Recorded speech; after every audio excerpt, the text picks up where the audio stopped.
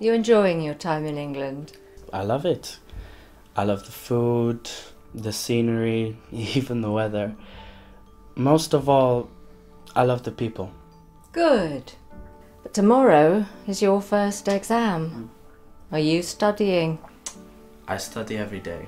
I learn new words from Oscar, Anna, Georgina, and you. Excellent. I have a question. What happens if I fail the exam? Well, if you fail the exam, What? you'll have to leave college. You'll have to return home to Brazil.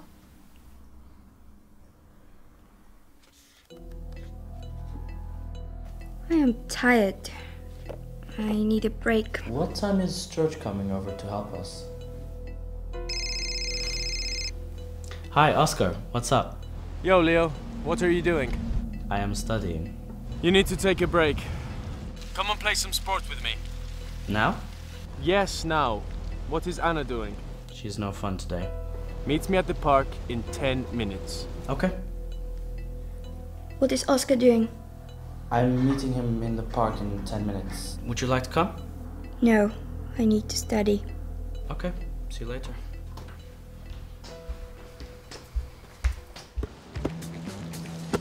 If I win, you do my chores for one week.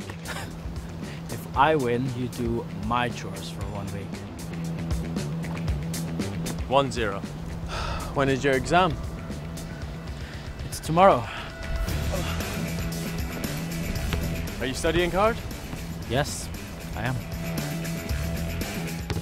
Two zero. How often do you see girls back home in Brazil? Sometimes, once a week maybe. You see Georgina very often? She helps me study twice a week. She helps Anna as well. Hmm. Do you study at her house? No?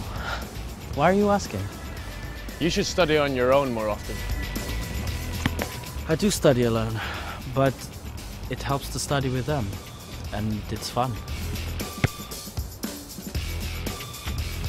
Game over. I win. You need to practice more. So it's countable. That's right. I don't understand. I'm going to fail. I'm definitely going back to Brazil. Don't worry, I'll explain again. Countable words can be counted, but uncountable words cannot. Thanks, I understand. I'm just nervous. Don't be nervous. You are fine. Remember, after the exam, we're having the big party. You must remember to collect your costume. What's your costume? It's a surprise. What's yours? It's a surprise too. I'm so excited. That's enough study. I think it's time for bed.